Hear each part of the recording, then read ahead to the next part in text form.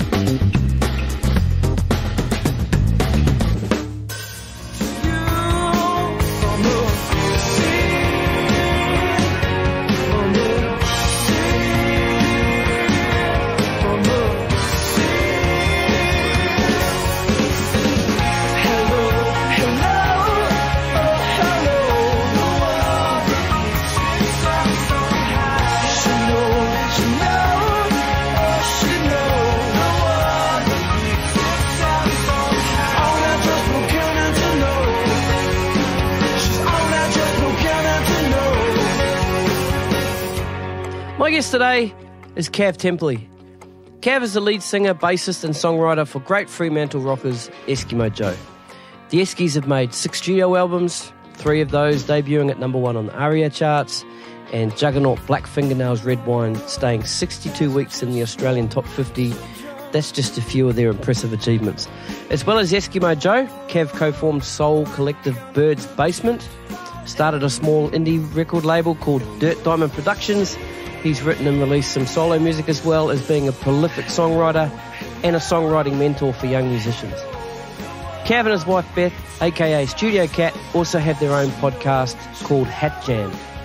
In this chat, Kav and I talked about his early days growing up in Fremantle, picking up the bass, almost going to jazz school, forming a school band, winning the campus band comp, which won them a recording session, to eventually forming Eskimo Joe. 21 years later, the Eskies are still going strong. We also talk, of course, about Hat Jam podcast, which you must go and check out. It's really, really good. Just a warning, there's a bit of drug talk and references in this episode, so if you don't like hearing that kind of thing, best not listen to this one today. So, without further ado, ladies and gentlemen, please give it up for Kav Temperley. Cheers.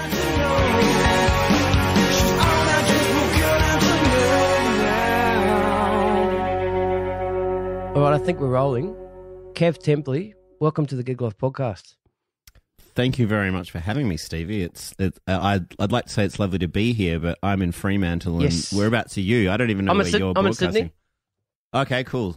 You might be able to tell I'm a New Zealander. I've got my All Blacks flag in the background there and uh, my New Zealand flag, and had that I- out for I did- Anzac Day the other day, which was pretty cool. I was Yeah. secretly hoping that you were, you know, broadcasting from New Zealand, but but Sydney is also cool. Yeah. Um.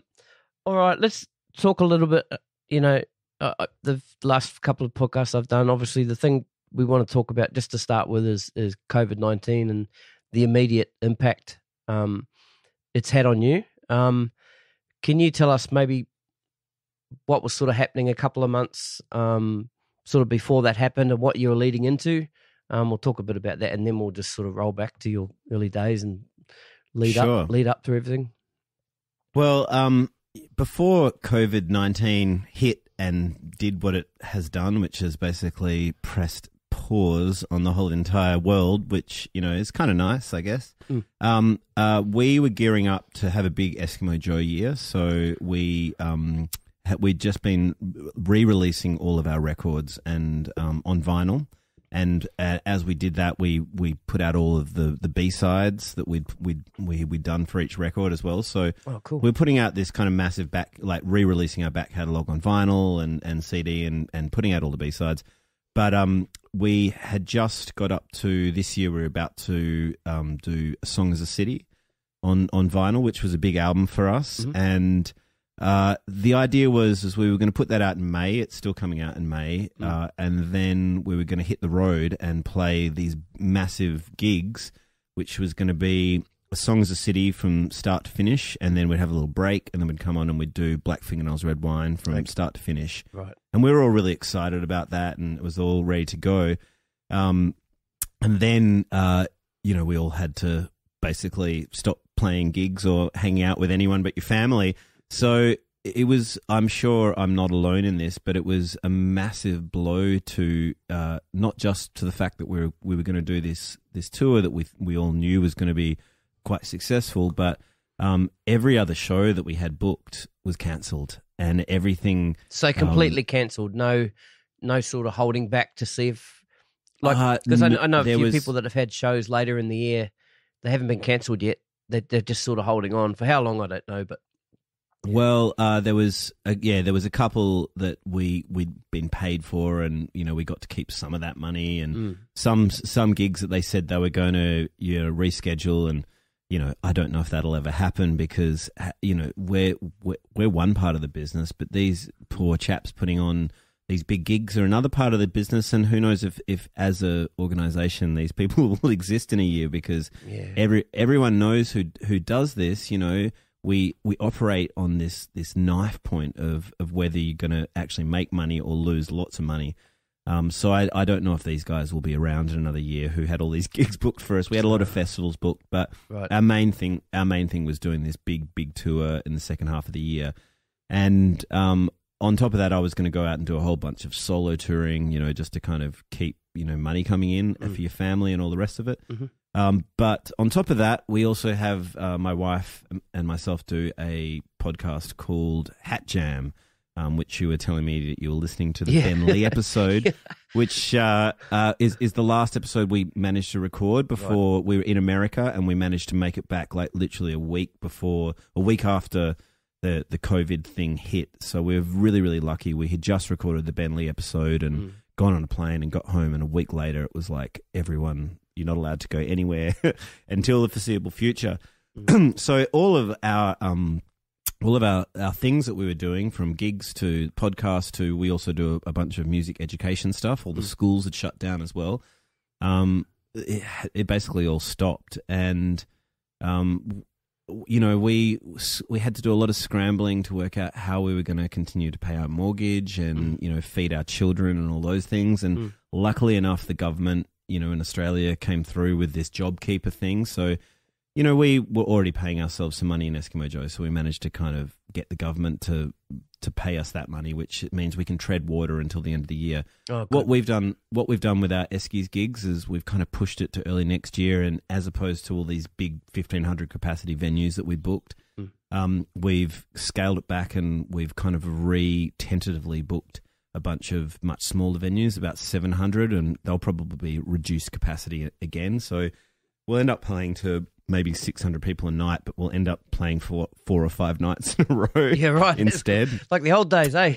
yeah, that's right, man. Yeah. Hit, it's time to hit the pubs. yeah. Uh, so, Awesome. so yeah, that's that's our plan. And the other thing is, you know, uh, one of the other things that happened is I finally managed to go platinum on Virgin. You know, airlines Oh. so- who have got they and they've gone into administration. So I mean, they'll probably be back, but yeah. I think I think the main point is I don't think uh, air travel is going to be quite as cheap as it was when we hit the road again. And Right. coming from Perth, you know, we're so isolated that Oh, yeah. once we do hit the road to do these big, you know, four or five days in a row in a tiny venue gigs, uh, we're going to end up being on the road for much longer periods of time as opposed to going over and playing your big 2,000 capacity venue, then coming home for a week or two.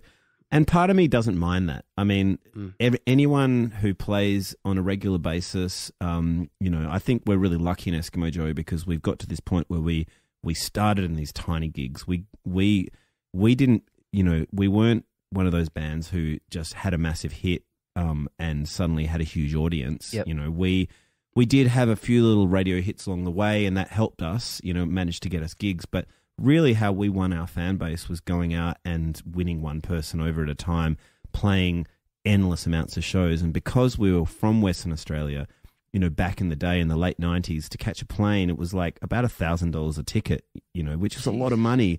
So we would get to the East Coast and we'd be there for 10 weeks at a time, just Right. going up and down, playing all these venues. And we slowly built it up and slowly built it up. That by the time we kind of were, had, you know, done our first record and we started to play these, you know, the big festivals like the Big Day Outs and, and those kinds of things, um, all these people who had won over in these tiny pub shows were all there in the front row, ready to watch us play. Um, and then we saw that groundswell grow with each record. So by the time our second album came out, A Song Is a City, it, you know, we are playing the big day outs and stuff again. It, it had grown a bit bigger, and then we did Black Fingernails, Red Wine, and it finally kind of tipped over, and we had a commercial, proper commercial hit. Um, it really started to kind of translate. So, um, you know, we were that's that's how we used to do it, and and the funny thing is this where we're at with the COVID thing. I feel like we're about to walk back into that world again where we're going to pay for a really expensive plane ticket once we get to the East Coast or wherever we get get to. We're going to have to stay there and, and make sure that you know we make that ticket work, and we're going to have to probably be on East Coast for a couple of weeks playing show after show. But the point that I was trying to get to is is when bands get really big, um, you know, you don't you don't get to get on those roles where you're playing four or five nights a week. You play one big show and then you go home for a couple of months and then you go out and you play another big show, you go home for a couple of months. And if you're if you're touring a new record, you know, you never you never break through that performance factor where, you know, it, it's just second nature. You can walk out and you can just do it. You know, um, amazing things happen in a band when they break through that place. Yep. And I feel like I still have such fond memories of all of the gigs we did up to, you know, the end of the Black Fingernails time because we played so many shows. You know, that's just what we were doing. And um, and I feel like I can still play those songs, you know, in my sleep. But Yep. every album after that, we we played big shows, but we didn't get to play as many shows, so we never broke those songs in as much. Mm. And uh, and I feel like we'll get to you know do that a little bit now with this That's new cool. That's cool. paradigm, you know, which is uh, you know playing tiny shows again. Yeah. Um, and the fact that you've, you, you know, you've you've done it before means you know you you'll know what to expect. Yeah, we we also are a little bit older, so Oh, that's we know what eh? we know what we know what to expect. We're like, oh boy, yeah, yeah, can't can't jump around like that anymore. yeah. um, we'll come back to the Eskimo Joe stuff and and yeah, all that sort of stuff. I want to go right back to where it all began for you, Mhm. um, early childhood and all that sort of stuff.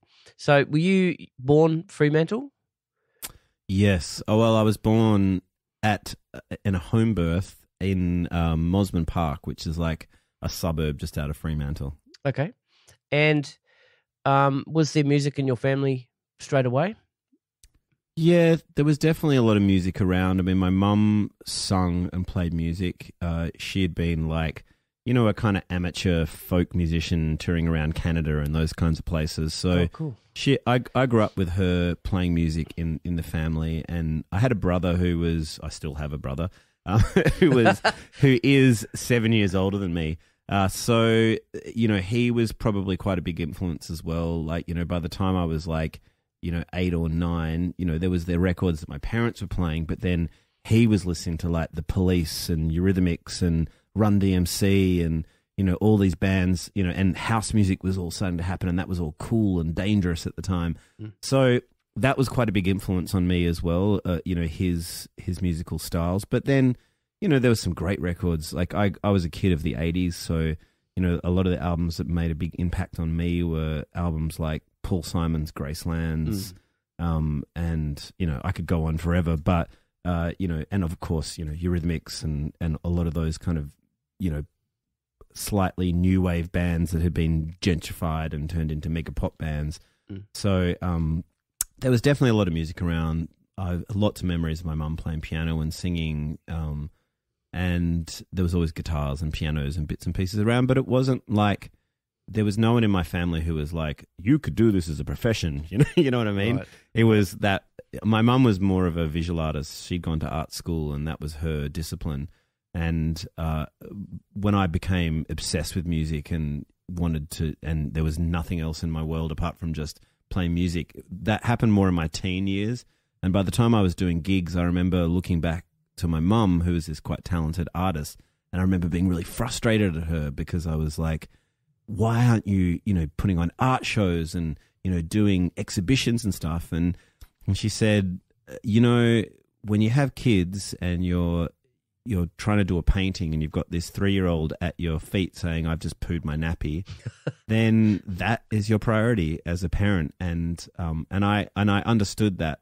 Um, and I think for uh, being a female artist in her era, it would have been very, very hard to break out of that.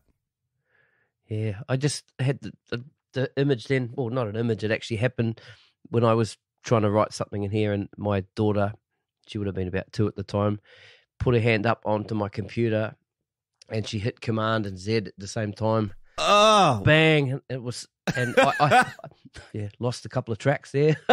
uh, of Yeah. all the two two keys she could hit. uh, um. So, what kind of music was your mum listening to? Um, I remember like a lot of Ry Cooder and Van Morrison. Um, um, you know, the Beatles were, you know, obviously around a lot as well. Um, and like I said, Paul Simon Graceland was was a big one Mm. um, in the eighties, and you know, Dire Straits, Money for Nothing, all of that kind of stuff as well.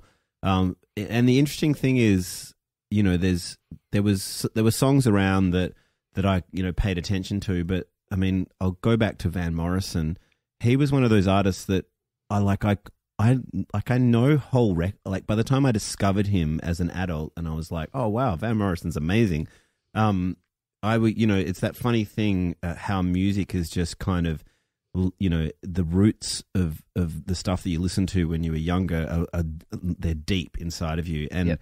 I, I, like listening to Moondance and um, uh, and what's the record before that? Um, you know, with as I wander through the slipstream. Anyway, the, those two main Van Morrison records, uh, they I just remembered every single song on the record. I was like, how do I know all these songs? Yeah. But they were there in my childhood, and and I I might not have been paying you know uh, conscious uh, you know uh, attention to what was going on, but it was it was seeping into into my bones, obviously. Mm.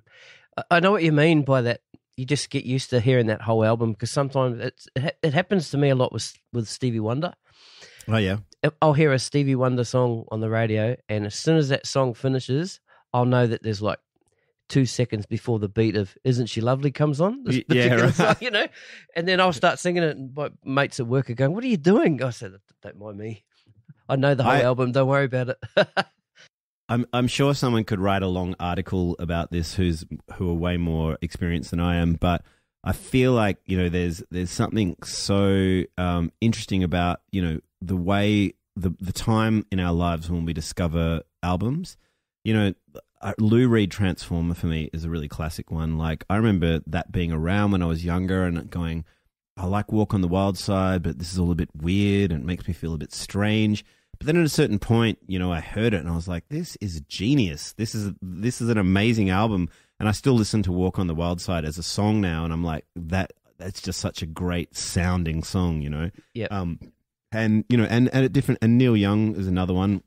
I love Neil Young, and uh, you know, I just when Neil Young kind of appeared in my life, I felt like it was you, you know it was the right time for me to to discover that album.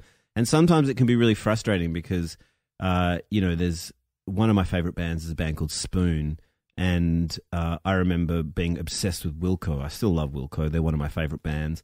Um, but this this Spoon album had come out, and I remember a girlfriend at the time going, "You got to listen to this record," and I was like, "No, no, it's all about Wilco." And then, of course, you know, like two or three years later, you go back and you finally discover it, and you become obsessed with it, and you're like, "Oh my god, why didn't I discover it then when it had just come out?" You know, I'm Yeah. you know, I'm three years late for this. But it doesn't matter because you know you discover that record when you're ready to you know receive you know that record, and I think it's it's a it's a really interesting thing like you're talking about with Stevie Wonder. It's like Mm. you know you know these things they're they're in you, but there was probably a time in your life where you've you'd forgotten that it was such a big influence on you. Yeah, it's not till you hear the song and you just know. It's also from practicing and playing along to albums as well. Like, uh, like I, I play drums, so you would sit and you'd play the whole album. So you'd finish a song that was at a certain BPM, and you knew exactly how many seconds or how many beats or where to Mm. change the beat on your left foot to count yourself in for that next song. You know, and then of course you're away from the drums years later. One of those songs comes on the radio, and then that, it just snaps back in. Eh?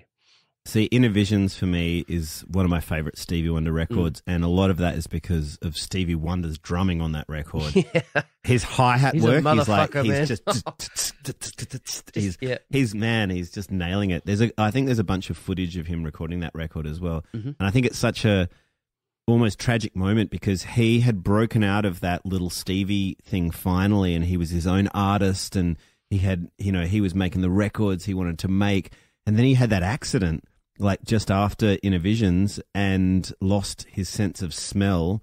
And he kind of went on a weird tangent after that. And his songs are still good, but I felt like, you know, the guy was already blind. Why? Yeah, Why do you have to take his smell as well? You know, Yeah. and I mean, like songs in the key of life and stuff, still a great record. But for me, there's something that Stevie was at, Stevie Wonder was at his coolest when he was doing Innervisions, I think. Mm. Agreed. Agreed. When did you first pick up the bass? And was there a moment that made you go, "Oh man, I want to play bass"? Well, um, it's it's a pretty. I'm going to sound like an idiot when I tell this story, but uh, I started off playing violin, and I played it from about seven till about twelve, I think. And by the time I was twelve, uh, there was no violin music that I listened to. Mhm. So, like, I never there wasn't like a oh, I'm going to listen to this track of by this amazing violinist. So there was there was no kind of real world thing where I was like, I want to aspire to be that guy, you know. Not not Nigel Um, Kennedy. Well, I thought Nigel Kennedy was cool at the was cool, time. yeah, he was yeah. like he was like the guy. I was like, "I- I'd like to look like that, but I never Yeah. listened to any of his music. Yeah, yeah, um. But um, but then uh, I was about thirteen, and uh, Guns N' Roses. Uh, no, I was about twelve. Yep, twelve years old, and Guns N' Roses. Uh, uh, Appetite for Destruction came out, and I was just like, you know, it'd be cool as if I played the bass. And I thought it'd be, I thought it was cool because I was like, the bass has four strings, the violin has four strings. They're probably the same Right, strings. the same They're strings. completely different strings. Uh, but um, uh, so I sat, I, g- I, you know, finally managed to get a bass, and uh, I sat down. The first thing that I ever taught myself to play was the opening line to um, "Sweet Child of Mine," the do do do. Oh, do, you do, do, you spoke about this in Hat Jam with Josh Yeah, Pike, didn't you? Yeah, That's right. Yeah, yeah. So we're both we're People we're both go and go and listen to Hat Jam. That we'll go and listen to all of them, but the yeah the episode with Josh Pike.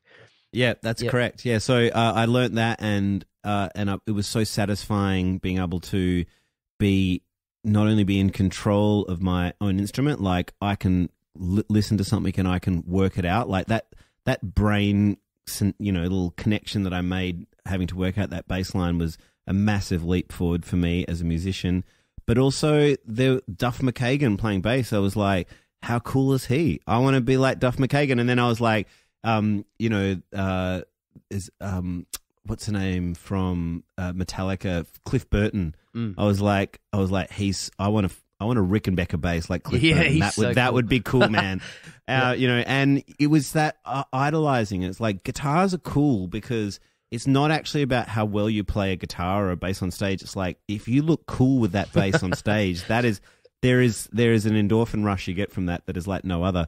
So that's where it kind of started, and um, and and I became the bass player in the band, and and then in my kind of mid teens, I, I got really really technical. I got into jazz, and I got into like you know learning Jaco Pastorius bass lines and those kinds of things, and I got super super technical. And about sixteen, I was about to apply for the jazz conservatorium, Mm. and I and I did the audition, and the the the the people who I was auditioning, they said, look, we think you're amazing, but 16, we don't take people at 16. Um, but if you come back next year when you're 17, we will definitely accept you. And I was like, great. Okay. It's game on. And in that year of 16 to 17, that was when I discovered Neil Young. And that's when I rediscovered the Beatles. And that's when I discovered, you know, uh, Transformer by Lou Reed. And I, I listened to those songs and there was no, you know, none of that was going on in there. It was just like, boom, boom, Yep. boom, boom, boom, and I was like, "That's cool, man." And it, and that was a massive uh, revelation for me in my mind. I was like, "It's about the song. What what can the bass do for the song? Not how many licks can I get in there, but." Uh, What a good groove, you know, you can still be a technical groove, but a good groove is way better than playing a million notes. Yeah, man. Did you ever play the bass, Jaco? Up high, Up, up no, yeah. Right, because I, I, pl- I play bass as well. I've got Yeah. um, I actually went to a bit of a Jaco. I never could never really play like Jaco, but I wanted to look like him. So I had my I've got my jazz bass there on the wall. I had my strap and I had it right up here. And I had the hat. yep. Yep. I was looking through some photos on Facebook the other day. Memory came up, and I saw that. Well, went, man, what what, I- was I thinking? Well, you know, I have those moments all the time. yeah. Um, but um, the one thing I didn't know about Jaco Pastorius until quite recently is he died quite young. yeah. He did. He like, yeah, he walked out of a, a club and like some kind of biker dude was like, "Hey, hippie, you know, with your long hair," and you know, this guy was a virtuoso. And he turned around and gave this guy some stick, and they beat him up, and he died. You know, and he was it. only about twenty seven or twenty eight, like really, really young. Mhm. Um, so that's pretty tragic. and he'd gone a fair bit off the rails too. I think you know. They all, they all do. They all do, yeah, They yeah. all do. Br- bring in the mushrooms. That's right. Actually, the people listening won't know what I'm talking about with the mushrooms there because we were talking about that before we hit record. Um, there's another episode of Hat Jam with um with Kav and Ben Lee. So just go listen to that. I'm not going to say anything else. I should probably explain to the people who are listening uh, what Hat Jam actually is. Oh yeah. Um, so Hat Jam is a uh, a podcast that I do with my wife, um, and we play this game where we basically have um, a whole lot of names in a hat, and um, and we we get a musician in, and the the musician has to pull out uh, the first name. They they put two names into the hat. The hat's already filled with lots and lots of names. They pull out the first name, and that name has to inspire the verse. And we sit down and we go, okay, cool. So you know, imagine we pull out "Sweet Dreams" by Eurythmics. We have to like write a verse in the flavor of "Sweet Dreams," and then uh, once we've done that, we pull out a second name. And then in isolation, we have to write a whole chorus uh, based on this second name. And sometimes it goes uh, really well, and sometimes, like with the Josh Pike one, it's like actually it's like, really tricky. I think we pulled out James Brown, and we're like, oh, and you you actually have to listen to the to the Josh Pike um, podcast of the Hat Jam one just to hear him doing his impression of James Brown. James Brown. Yeah, yeah. He's like, Yeah. uh, very funny. So we we write a chorus and then we try and stitch these two ideas together. Um, and sometimes it's really easy because the vibe's there, and sometimes it's not so easy. Um, and then at the end of it, I say, "How about you now come back and perform this as if it was a song that you were recording for your own record?" Yep. And uh, and then at the end of every episode, we have a brand new song, and they're they they're always amazing and really interesting. And uh, and yes, uh, in the Ben Lee one, in the first, I travelled to. I generally travel to people's jam rooms to do this. Uh, that's why the whole COVID nineteen thing has been very tricky. We haven't been able to record an episode since. But I travelled to people's jam rooms, and uh, in the Ben Lee one, we're in Laurel Canyon in LA, and in about the first five minutes of the podcast, he uh, offers me magic mushrooms. And I had not taken magic mushrooms in decades. I'm not going to say I'm an angel. Of course, I tried many substances. I'm a musician, for fuck's sake. but I hadn't done anything like that since my late 20s, and I'm now post 40. So uh, I was like, okay, let's do this for the sake of a, uh, you know artistic adventure. We're going to do this, and uh, and so I went on the journey with Ben on, on magic mushrooms. So you're to have to listen to the episode if you want to find out what happens. Yeah, and then what? The reason I brought up mushrooms because we were also talking about how some creatives need to take drugs to just be normal, just to bring him bring him back to normal. Well, yeah, I mean, people, artists have famously self medicated throughout history, and, uh, you know, it sometimes goes really badly, but often um, you'll find most people who write songs will, you know, have a glass of wine or a coffee at, you know, at the least to do what they have to do. Um, ben is obviously a big fan of psychedelics, hence why he was like, "Let's let's take a little bit of mushrooms." And I was like, "Oh boy." Uh, I'm more of a fan of just you know uh, smoking a joint. That's about as that's that's as all I need. I, I'm like a, a little number, write down some lyrics.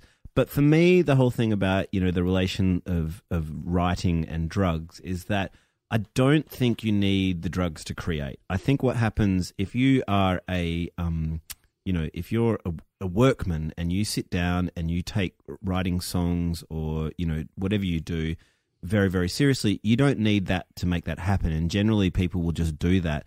But I find smoking a joint at the point where I've driven that idea as far as I possibly can down the road. And I'm like, you know what? I'm going to smoke a number and I'm going to sit back and just contemplate what should happen next. And then I find it can be really, really uh, beneficial, you know. And right. And then, and sometimes I'll I'll do that, and then I'll wake up the next day and be like, what was I thinking? You know, um, yeah. Sarah Sarah McLeod uh, was one of the guests that we had on the HatJam podcast. Yeah. And she, we were, it was hilarious because we um, after HatJam because we connect. We we've known each other for years. We we had done some touring together, but we hadn't really connected as friends before. And then we did the HatJam podcast and got on really well. Had a fabulous time. She's such a funny lady. Um, then uh, we had a offer to write a charity song for the bushfire relief. Um, so myself and Sarah sat down to do that, and we like you know, we we basically I, I started the song at home and then I sent it to her and she had a little bit of a bit of a play with it and you know we got the lyrics to a point and the lyrics were doing pretty well and then she she wrote back at this one point and was like okay I've done a rewrite of the lyrics because there was some clunky bits and she'd rewrote rewrote lyrics and they'd just gone on this massive tangent and and I was like oh it's I think it was pretty good before like maybe a small tweak and she was like yeah, I smoked a joint and then just started taking myself really seriously and went on this long tangent. So that is the danger with yeah. the with the joint smoking at the end of writing a song is that you know you can go on a tangent and it might not be a be a good tangent. Maybe what you had before was cool. All you need is just a little, you know, just a little little tweak. um, when did you start singing? Because obviously, um, yeah. Well, I, th- I think I, I don't think I really took myself seriously as a singer until I was about 13, 14. Mm-hmm. Um, and that was mainly, uh, I just kind of started writing songs when I was about 12, but about 13, 14, I started uh, wanting to sing the songs myself. And it was, uh, it was more of a means to an end. I was like, well, I don't really want to play this to anyone else. I, I just want this to be a sacred moment with me in my room. But there's a little bit more of a backstory to that. Myself and uh, when I was about yeah about 14, 15, I'd, I'd already started writing some songs, and I was you know hadn't really sung in front of anyone yet. I'd just been you know writing these songs myself, and then um, I went over to my friend Rodney Aravena, who's one of my still very close friends. He played in End of Fashion and Sleepy Jackson and stuff. We lived together for a long time, had a great jam room. Um, but before that, we were we were stinky teenagers, and I went over to his house one time, and he was a much better guitarist than I I was, and we'd bought like a little bottle of Jack Daniels, and I was like, oh, these girls want to meet up at the beach tonight, and he was like, oh yeah, cool. Um, and he he had one of those guitar magazines, and I think the the latest song that it had in it was Stone Temple Pilots Plush, oh, and uh, it's got a great guitar line. So he'd he'd learned it on his little nylon string or whatever, and and so I started to sing it and do like my best, like you know Scott Weiland impressions, like you know, doing the whole thing. We call it quaying. Uh, and any, anyway, so I was quaying away. Anyway, we went to the beach that night, and I sung. He played guitar, and we both like went off into the sand dunes with different girls, and you know, pashed on and did whatever we did, and and I was like, bingo, this is awesome. If I sing, girls will actually want to kiss me. this is this is like a revelation for a teenager. So um, the next weekend we went out again. And, did it again, and next week out we, we went out and did it again, um, and then I think it was like about three or four weekends in, and, and I was just like, "This is a winner, man! Like we've got our song, we just play it, we we go off and kiss girls. This is great." Anyway, he met up with one of my childhood friends, like a girl who I'd known since primary school and, you know, had been really close with her family and stuff. So they went off and uh, and pashed that this one weekend, and I I went and pashed some other girl. And uh, next weekend, I was like, "So, Rod, you get ready to like, you know, go out and do that again?" He's like, "Oh, I was just thinking I'd I'd hang out with Isabel again." And I was like, "Really?"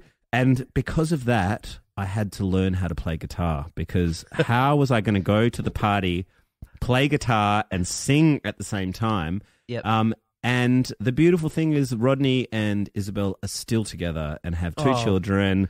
So they got together when Rod was like, what, you know, 15, 16. Isabel was about 14, 15, I think. And yeah, they're still together after all these years. And uh, I was forced to go off and play guitar and sing, and that obviously worked out well for me. It's a happy Uh, ending all round. Hey. but you know, through, through a happy ending all round. um, no, but but through that, through that horribly, you know, teenage grottiness, um, you know, I became less obsessed with doing it to girls. I could kiss a girl, and I just became obsessed with writing my own songs. And you know, on I went, and here we are. That's cool, man. Um, okay, so you're playing guitar now, you're singing, you're bass player, um, you're writing songs. Did you ever get yourself into like a cover band situation, or did you kind of always see yourself as a sort of write my own songs? I want to form my own bands. I want to do my own stuff. Was that the path? And and then if it was, then you know what was the first first few bands that you started hooking into? I- think some I think some people have the ability that when they hear a song, they know the exact chords and they're like, "Oh, that's a G and that's a D and this is the melody and I'll sing this over the top." However my brain works, I like to call it the magic number generator. But what- what happens is from day 1 from when me and Rod were uh, playing and trying to pick up girls and all the rest of it. The other part of the story I didn't tell you is that I couldn't quite work it out to work out anyone else's songs, um, but I could go play my own songs, and so that's what I would do to try and impress girls and stuff. As I just play my own songs that I was writing, um, and that was mainly because I was absolutely shit at working out other people's songs. I mean, I had the Beatles complete songbook, and I would I could play all the Beatles songs, but even then, I would do, completely do my own version of it. And mm-hmm. most of the time, when I was working out the Beatles, I would just get halfway through and just go, "Oh, fuck this," and, and go and do my own version. I just write. I my know own the lyric- chor- I know the chorus. That's all I need. Yeah, That's, that's, all I need Saturday night down on the beach. yeah. no, but I did. I wouldn't even get that far. I would be like, Oh, right. okay, well, I, here's here's the first couple of chords of the song. In fact, I'm just going to write my own melody and my own, you know, chorus over the top of it. So, you Oh, know, that's I, despite the fact that I, I was, I became really technical as a bass player in my teens. Um, you know, when I started writing on guitar and piano, I, I was, I'd never had really any lessons, so I was a, a lot more Kurt Cobain about how I'd play the guitar. It was all a bit clunky and, and rough. Um, and so I was, you know, no one, I mean, I guess if they wanted a bass player in a band, they could hire me or a singer or whatever, but I was way too obsessed with just writing my own songs. I never Mm. Really wanted to be playing other people's songs in bands. And even if I did, I would want to do my complete own reinterpretation of it. Like I just, I, Right. I don't know why, but I was just driven to do that. And that's not to say I would hear people's songs and go, I want to learn how to play that song. But I'd just get halfway through and get the shits with it because I couldn't really work out the chords properly and just turn it into my own song. Um, so, uh, so uh, you know, by the time I was like about sixteen, um, I got an offer to like play bass in like in like a, a metal cover band for at our like school ref for like a, a gig that they were going to put on at our high school school ref. So I went in and, and like you know met up with all every, everyone. If you're like Australian dude, you you played metal at some point in time in your life, um, and so I went in and like learnt a bunch of covers on the bass because I could do that, and I wasn't singing. There was somebody else going, you know, doing all the metal vocals, Yeah. because death metal was quite big at the time. And uh, we were learning all these songs and stuff, and we did this uh, this gig at our ref, and there was another band who were playing, and they were kind of like, you know, more into the vibe that I was into at the time because I was, you know, like most teenagers of, of the of the mid '90s, I was listening to like Mr. Bungle and you know, um, Faith No More and and that kind of style of stuff is what I was really into. So there was this band who were a bit more kind of funky, a little bit more Red Hot Chili Peppers, Faith No More ish kind of stuff going on. And I was like, these guys are cool. And, and there was an after party after the ref, and we were all talking. And it was just happened, the after party just happened to be around the corner from my house. Um, so uh, they were like, oh, yeah, yeah, you know, we're playing, but, you know, the bass player who was there, he's like, I'm singing, but I don't really want to be the singer. I just want to play bass. And I was like, oh, I've been writing a bunch of songs. Um, and so we, I, they were like, cool. And I said, well, do you guys want to come back to my house and I'll play you these songs? And they were like, yeah, okay, cool. So they came back and I played them these songs that I've been working on. Um, and they were like, great. Do you want to become the singer of, of our band? And I, I, I was like, okay, cool. So for the first time in my life, I didn't have to play bass. Uh, I didn't have to play guitar. I could just sing. And that became uh, my first band, which was uh, myself, Joel Quartermain, who's who I went on to do Eskimo Joe with, uh, Simon Leach, who went on to be Little Birdy, um, and another guy, Stu Leach, who was Simon's um, brother. And so we we formed a band called Freud's Pillow. Um, we thought we were very very clever because it's Freud's pillow and it's like a yeah. pillow slip, you know, and you have yeah, a Freudian yeah. slip. Oh, we're, we're, oh, it's, it's, a it's oh. a ter- terrible band name, but we thought we, we thought we were very clever. Um, so anyway, we did that for a while, and we entered the campus band competition in Perth, and we, we came second. Um, we didn't we didn't win, but we were starting to build up a, a, a pretty good following in Perth. Look um, on your face. Sorry, the look on your face then when yeah. you said we came second. Yeah, I get the feeling you thought you should have won it.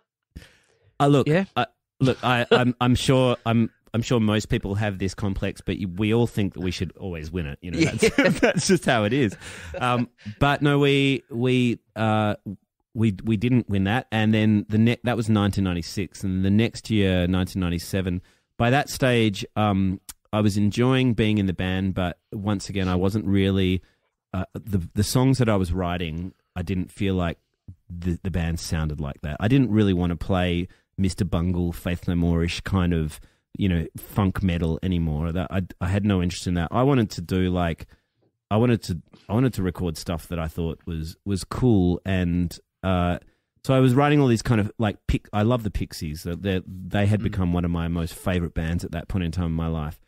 So I wanted to do a kind of a folky version of the Pixies, basically. That they they were the songs that I was writing, um, and I I was writing with my friend Stu MacLeod, who is an Eskimo Joe, and um, and I showed them to Joel, you know, who was in in my band at the time, and and he said, "Oh, let's." I, I want to be in a band where where you, where you write all the songs and tell everyone what to do. And I was like, well, oh, really? you can be in my band. of course, uh, if anyone's ever met Joel, it, it didn't work out like that. he's, he's, an amazing producer and he's very good at telling us what to do. Um, but we had this magical thing that happened when me and Stu and Joel got into a room for the first time. We had this really great um, chemistry of personalities going on. Um, and anyone who's been in a band who's had a clunky band or this band, you don't really know when when something's going going uh you know well until you're in, with a bunch of people that it's going really well with. And so myself, Stu, and Joel, we're still in Eskimo Joe, like yeah. 21 years later, and it's because we have just a very, you know, musically, yes, we we you know play with each other and we have a thing that we do in Eskimo Joe, but um, but but personality wise, we have really complementary personalities, and we manage to work in this this this three way um, personality love in. You know, it's it's why it's, it still works. And as soon as we got in the room, that happened. And so remember the previous year where we had lost the campus band competition. Mm-hmm. Um, I'd I'd written this one song called Sweater, and um and Joel was like, because he'd been through the campus band competition. It was a big deal, by the way, in Perth in the mid 90s because, you know, Triple J was blowing up. You know, you had all these cool indie bands that were, were doing really well. And, um, and we saw the campus band competition as a ticket out of uh, Perth. You, it, if you won the campus band competition in Perth, you got a ticket to the East Coast. You, you know, if you won the whole campus band competition, you got to record an EP and all the rest of it. So we are like, this is our ticket out of here. We don't have any money. Like this, this is how we're going to do it. So uh, we'd we'd only done like three. Like the, the first three shows we did were the Campus Band competition, and basically Joel said to me, if you can write three more songs that sound just like Sweater, we'll win the whole Campus Band competition. so so I went home and I was like, okay, cool, three more songs like Sweater, and it wasn't it wasn't what I was doing. Like I still wanted to do this kind of more Pixies. Like I was probably getting into bands like Blur and Supergrass by this stage. But but I, I was I went home and I wrote three more songs that kind of sound like Sweater. And lo and behold, we won the whole campus band competition, and we were Oh, like, yeah. we were like, and it's by our third or fourth gig. So you know, we got we got to record an EP on that. Someone that was part of the competition. Um, and we did that, and then we were really really lucky that uh, a lady called Jane Gazzo, who's still around, um, she heard the EP and she heard Sweater, and she was like, "This is a great song," and started playing it on the radio, and then we basically started touring, and that was let me check my watch. Uh, 21 years ago, and Wow, and we only stopped this year because of COVID 19. Wow. That's really cool. Okay, so from from that EP then, um, how far on until you recorded the first album? Hang on, Well- I'm gonna I'm gonna and I'm, I'm gonna make hang on, I've got the list of all the albums here and I wanted to make it sound like I know what I'm talking about. So I'll Sweet. cut out so it'll it'll be se- it'll be seamless. Uh, this that- this should be part of the pod. This is this is the most entertaining part of the podcast so far. Is you talking about this? Um, no, well, we did. What what happened is we started touring because we knew that you know uh, when you it's really hard to explain. Perth is such an isolated place, and in the late nineties, it was even more isolated. And so, um, if you got a chance to get on the road and tour, you w- were not going to let that go. So, our first two tours on the back of Sweater were 10 weeks long. Um, and we just literally went up and down the East Coast playing to as many people as we could. Um, and then at the end of that time, we literally begged, borrowed, and stole like as much money as we could get our hands on, which is about four and a half grand. And we went to uh, a guy called Lindsay Gravina, who had just done the um, Living End record that was doing really well, and he'd done all the Magic Dirt records and stuff. And we loved the sound of his records. We are like, he, he, his records sound great. And so we went in and we recorded um, a second EP, um, and we had which had songs like "Turn Up Your Stereo" and another song called "Ruby Wednesday." Um, which is Ruby Wednesday, incidentally, was a song that we'd written for uh, our previous band, uh, Freud's Pillow. But we are like, "That's a good song. Let's take that one." Uh, and uh, and so and then we we filmed a big gig that we did with supporting someone at, at a place called the Roundhouse in Sydney.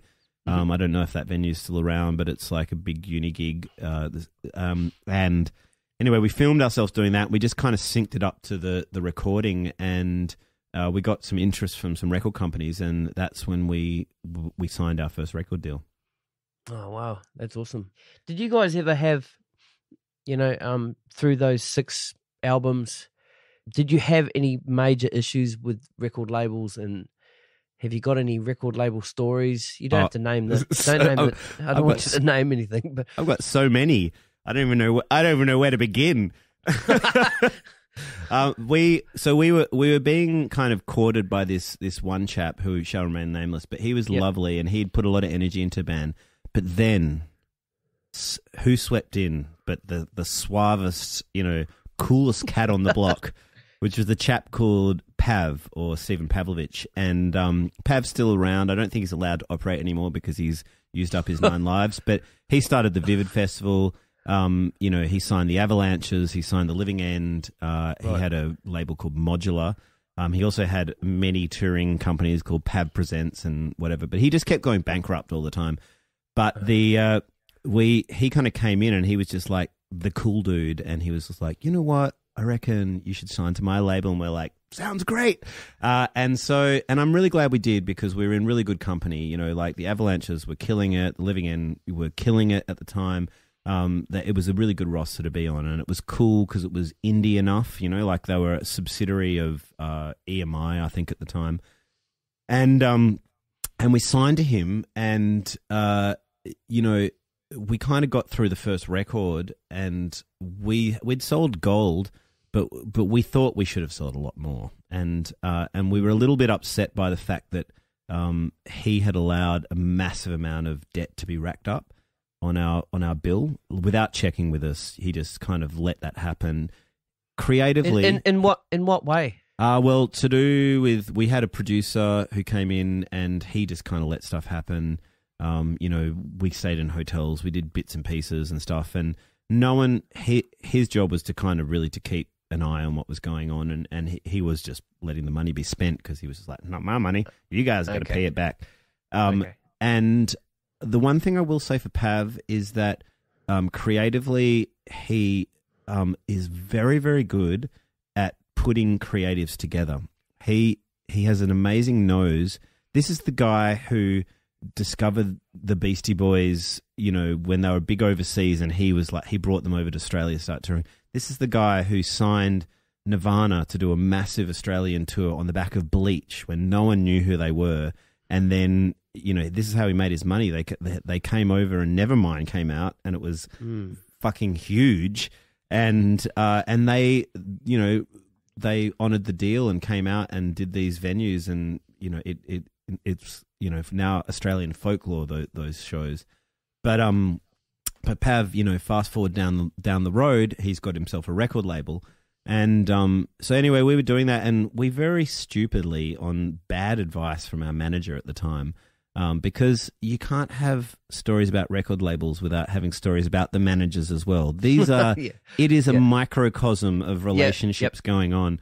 Um, anyway, so we, from our manager at the time, we decided to take up the advice to go to Pav and say, um, we think that you should just release us from our record deal um, because we work really hard and we've sold all these records on the back of us touring, and you haven't done shit because you're spending all your time on the avalanches.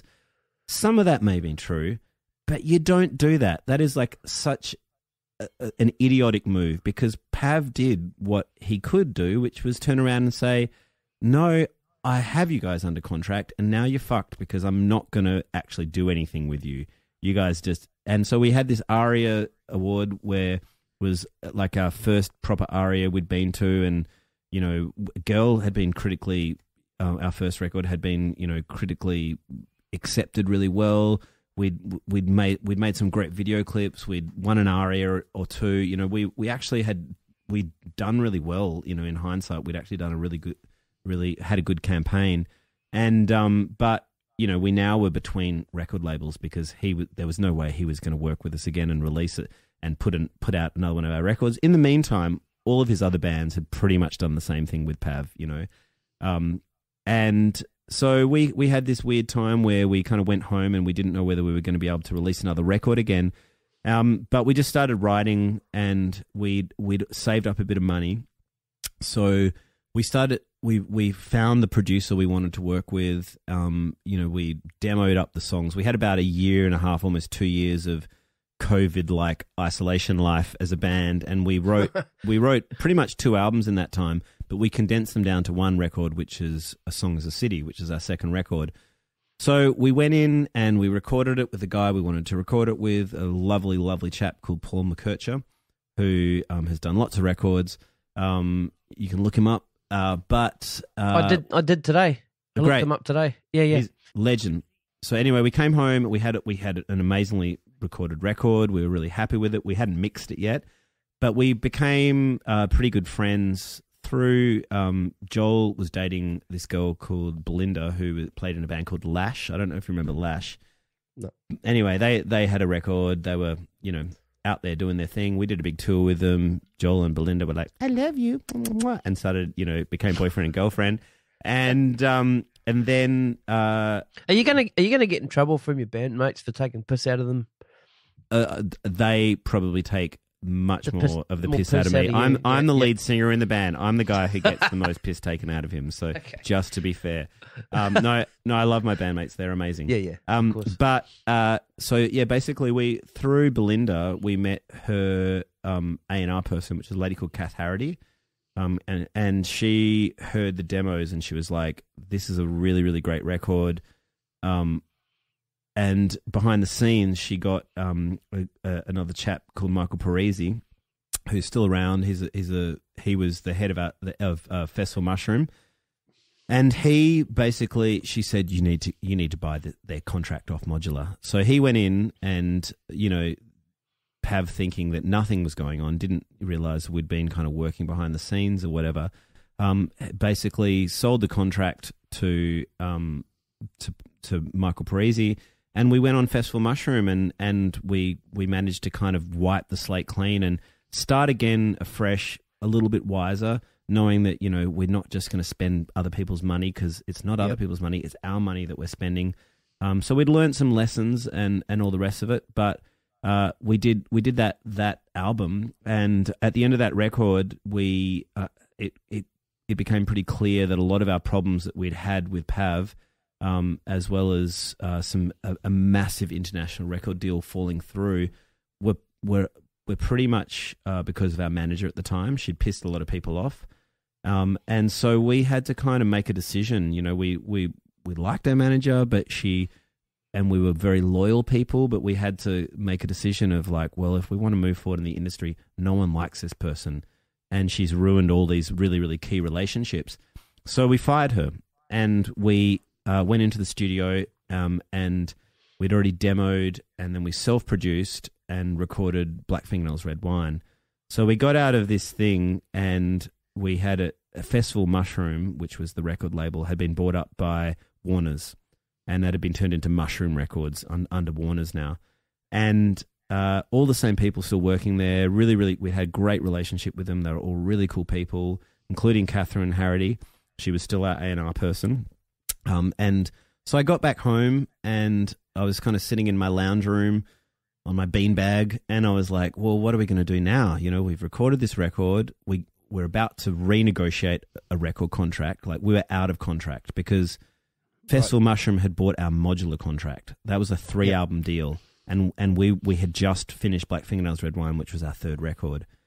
And so I was like, what are we going to do? And then I was just thinking about the idea of the of the you know thinking about people like Pav and our ex manager and these people, you know, who were kind of there for us and stuff. But it became it's really really obvious that you need to find people in the industry who champion you, who get what you do, and will listen to you whinge through the really really hard times because there will be hard times and you will whinge you know um and i thought about it and i was like who is that person and, and i was like well catherine haridy is that person. And so i i called joel and i said i think we should ask kath to leave her job at at the record label and come and uh, be our manager. And she'd never been a manager before. And so we got over you know we were we were just doing the last bits of recording of, of the Black Fingernails Red Wine record, and Kath came to visit us at, at the studio, and we were like, um, "How would you like to leave your job at Festival at, at at Warner's and come and work for us as our manager?"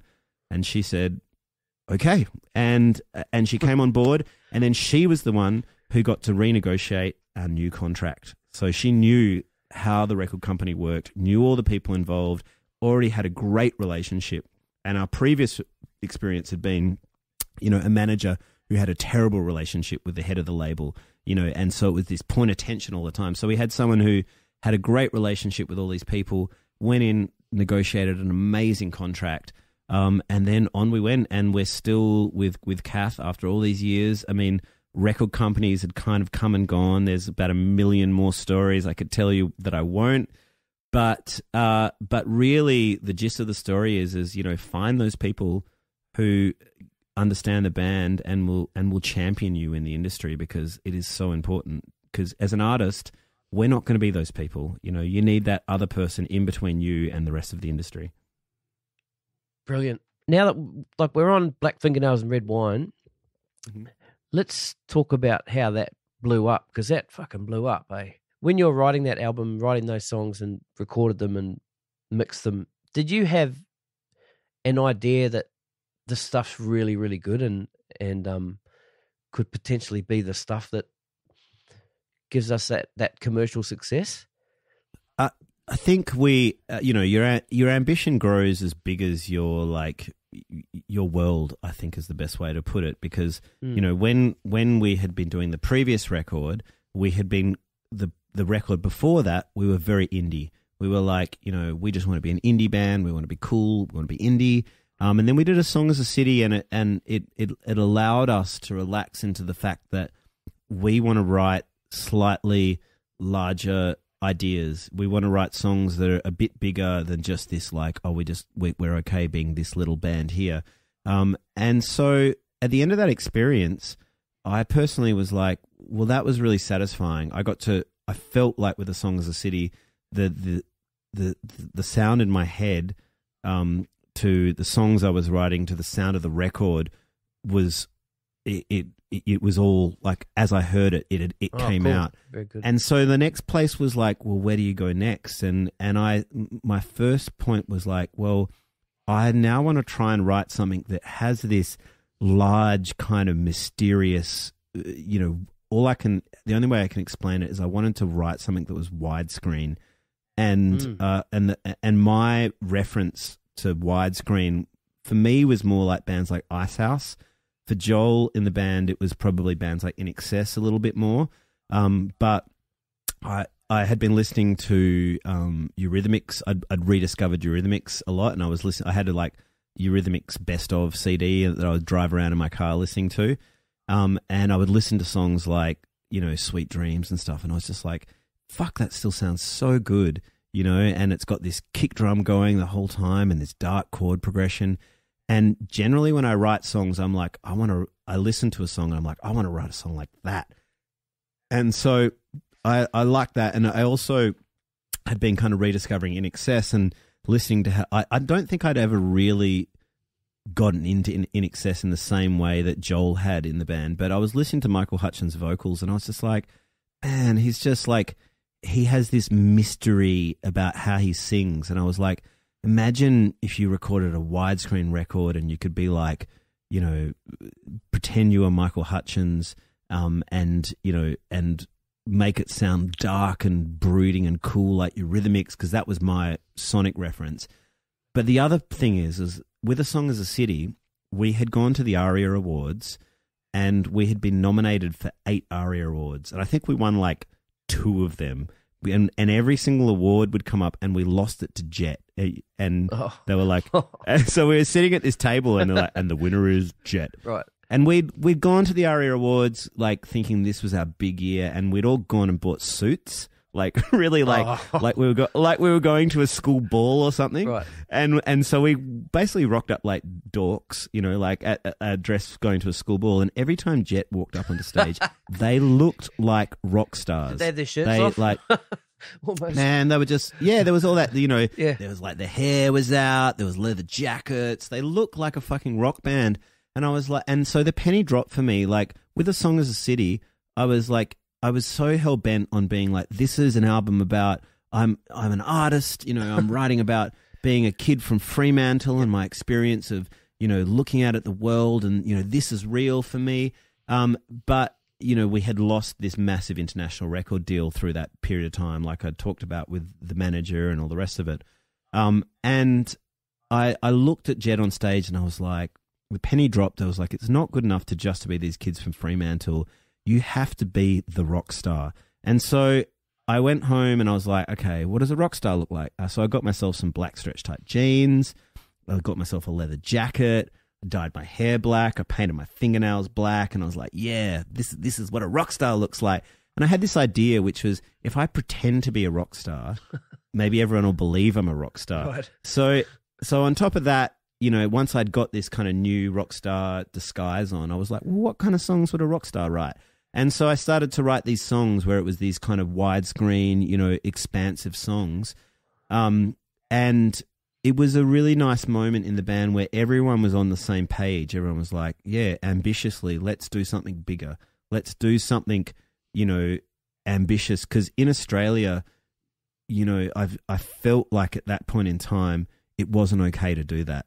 You know, you have bands like, you know, I, I, what's a good example? Like Gang of Youths or um, I don't know who else, but they're the only band in Australia who are really trying to be an international act in that sense was pretty much Silverchair at that point in time. You know, they were like, yeah, we're going to be rock stars. Fuck you, you know. What what album Um, and- they? around what album would that have been for them? So what was They they would have they would have just come off the back of Diorama, I think. Ah, right. Um, Right. and uh, and you know, and of course you had Jet, who had just with a fir- and and you had the Vines as well, who who both um, had had some international success. So so it was in the air. We were like, yeah, this is possible. Um, and all those things kind of fed into like the zeitgeist of all these little ingredients fed into um, you know the creation of Black Fingernails Red Wine. And the songs that we wrote for that, I wasn't pretending to write real songs about my real experiences. Like songs like New York and Sarah and London Bombs, they're real experiences that I'm writing about. But the way that I decided to present them was I was just like, let's kick off this the shackles of this we're just a little indie band. Like what would happen if we wrote a song for the world? Like something that that eh, if that would sound as good as bands like that we were listening to at the time, like I don't know, Interpol was a band we really loved at the time, and a bunch of other bands. Let's write a, a record that sounds as international and cool as the as these records. Like let's fuck the tall poppy thing thing. So we went into that, and on top of that, we decided to produce it ourselves, and we found an amazing engineer called Matt Lovell. Who'd funnily enough worked on a bunch of INXS stuff and and worked out of uh, Gary Garry Beers' old studio, um, and so we were like, "Yep, the stars have aligned. This is going to happen. And so we went there, and it was just such a harmonious experience. It was one of those moments where the stars just aligned. Everyone was on the same page. Um, you know, we got in there, we worked really, really hard, um, and we came out with this result that we were really happy with. But on top of that, I think the reason why it, it did well is that if a band manages to get to album number three, they've hopefully built up three albums of fans, and so by the time you get there, you know you've already got this these these people who are going to fill a thousand capacity venue. But then if you get a hit and the secretaries love it, and they're just like, I love this band, you know, um, then then you have this kind of this tip over thing. Um, and I think that we were really, really lucky to be in an era where that was possible. I feel like in the current climate, you know, um, the you know the you can be much more international in your approach. I think the mindset is much better for for young bands coming up.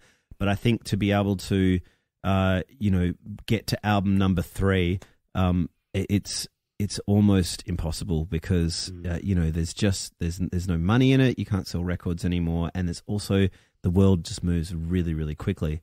But in saying that, if you're really good at what you do and you're an amazing artist, and I use an example like Tame Impala, Mm. you know, then good music is good music. Yeah. People are going to see it. Yep. Where did you record um, Black Fingernails Red Wine?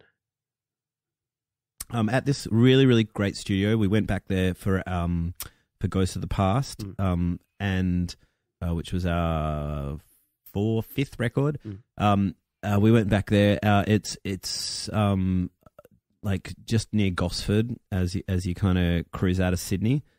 Oh, is this Um, Gary? This is, was was at Garry Beers' studio. Yeah, yeah, yeah, yeah. So when when we were there, it was owned by a lady called Darlene Love, who was like a she was a Hillsong country star. Right. Um, so it had a bit of a Hillsongy vibe floating around when we were there, which was kind of weird, but they were cool. They, you know, they didn't preach. Mm. Um, and then now it's, uh, funnily enough, it's been bought up by a guy called Scott Horscroft, who um, was one of the co-owners in the studio that we uh, did a Song Is a City in, which was a Ah, album, uh, s- a studio called Big Jesus Burger. And uh, and Scott Horscroft was one of the, one of the chaps involved with that. So when you recorded um, Black Fingernails Red Wine, um, this was obviously a time where they're still selling physical copies. You were still in that time. You you were, um, yeah, you were around in a, a good a good time where you could make some money off album sales and stuff. When did it? Well, get- sorry, go. go. I was going to say yes. You could pay back the, the debt that you'd incurred to the record company. Right, right, right. So, uh, how sort of far in Mm-hmm. at which album did things start to sort of change there, and the whole streaming thing come out, and physical copies not, you know, Well, not being it sold? started to. T- it's for us. It was an interesting thing because you know you talked about the record company stories. Like we um, we formed our own label in about 2013, and we we put out a bunch of records that we produced of other bands. There's a, a great band called The Chemist, who were probably our favorite band that we had on our label. But we basically formed the label so we could put out our own records. Eventually, that was the plan. Mm. And um and we were still on Warner's by this stage. Um and they decided to make our our record label um, a satellite for their their um their label. so uh, we got to we did Ghost of the Past, and then we got to do. We are starting to write our next record, which was the last Eskies record we put out called Wastelands. And um and the head of the label kind of came to us and said, "Look, you signed this record, so you signed this label uh, under an old deal." Which was when we signed our Black Fingernails amazing record deal. Mm.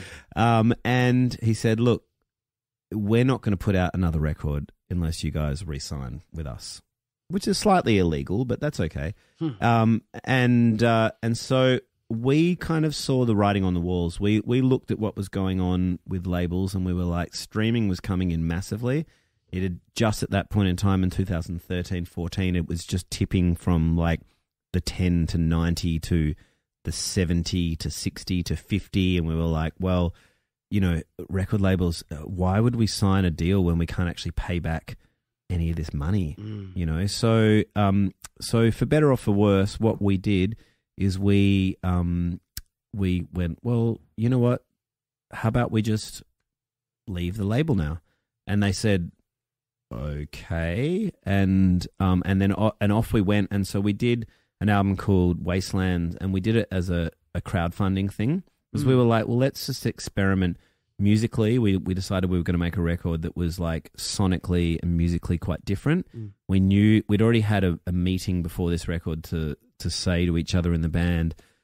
After this record, we've been on this two year cycle where you know we write, record, release, and and and we've been doing that year in year out. And everyone wanted to do some other projects. I wanted to do a solo record. Mm. Joel wanted to produce some other records. Um, so we decided that we would do one last record and we'd experiment how it was- going to be put out because we were like, who's going to pay for records in the future? Mm. Clearly, record companies aren't going to be able to do it because no one's buying records anymore. So we did it, and it was a cool experience. But the the really interesting thing was, uh, streaming is now cranking. It's like the thing. Yep. You know, it's it's it's more about you know the physical releases. Like, yeah, vinyl sells a little bit and CDs sell a little bit, but really, it's about getting millions or billions of streams. Mm. Um, and record companies have now adapted to that. Yep. And they've actually become like quite good at getting you on playlists and r- quite good at, you know, still working the promo side of things and, and really create, creating a, a, you know, a great product. So what we, we drew from that was that it was a great experience. We managed to extract ourselves from our record company, which I think was the right thing to do Mm. because we weren't going to sign an, an, a shitty new deal.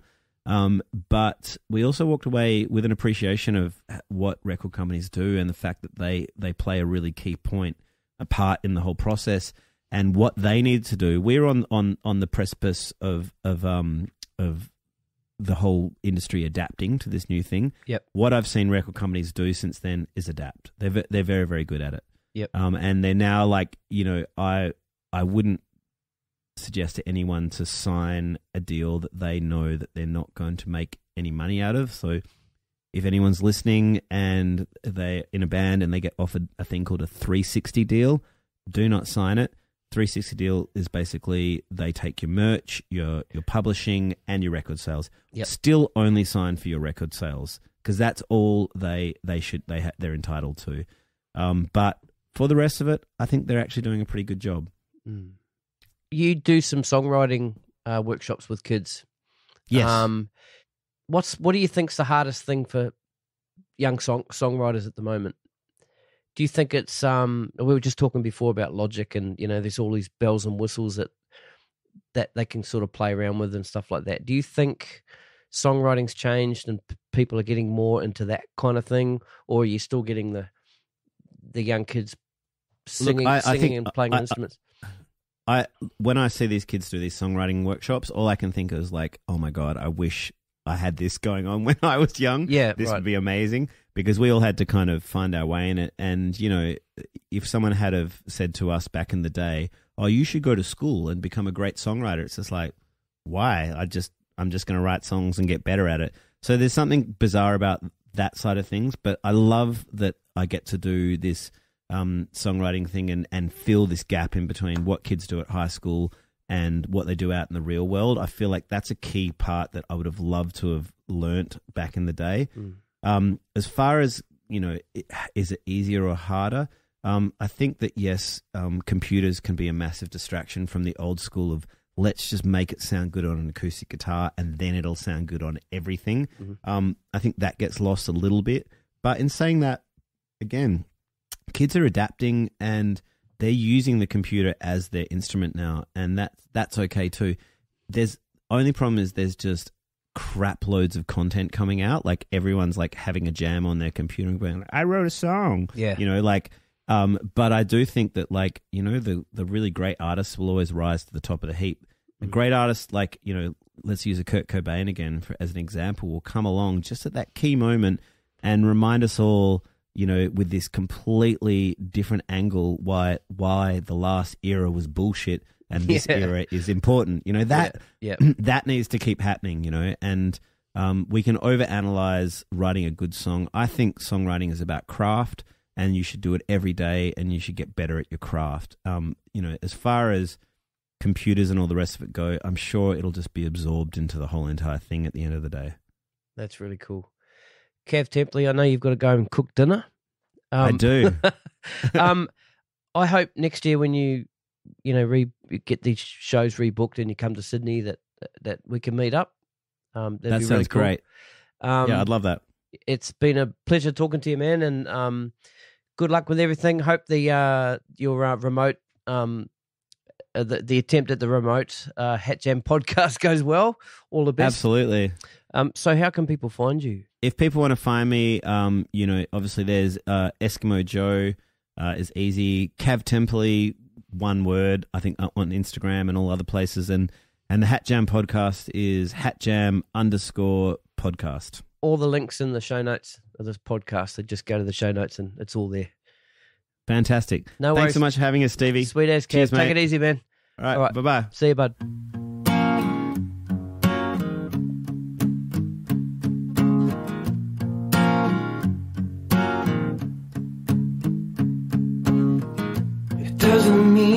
Not your friend.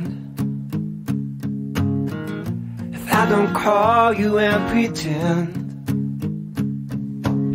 Sometimes I feel like having fun. So tell me where did I go wrong? Tell me, 'cause no one really knows you when you're out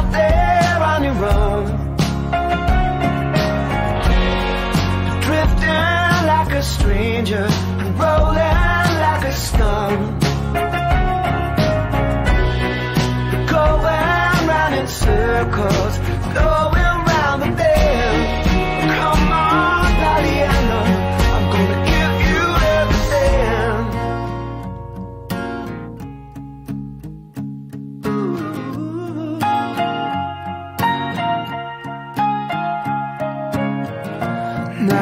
Party's over.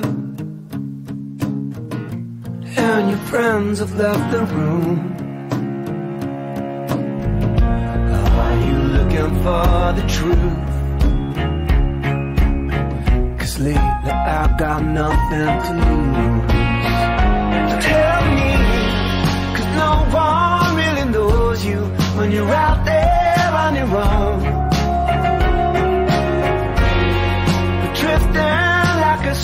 stranger and rolling like a stone.